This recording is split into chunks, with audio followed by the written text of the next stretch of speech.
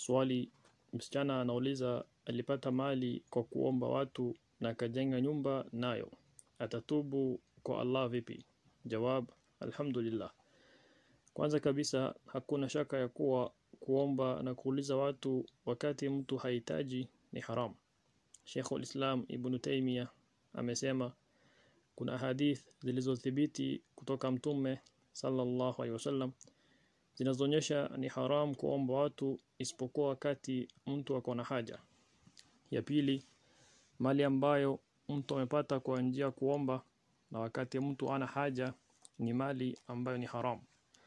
Kwa sababu ilipatikana kwa njia ambayo hairuhusiwi kisheria.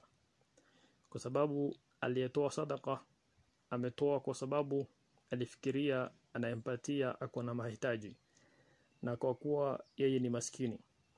Kulingana na hiyo huyo msichana anafaa kutoa hiyo mali yote kwa sadaka na kwa masakin na kwa wale wanaohitaji kusaidiwa kwa niaba ya waliompatia.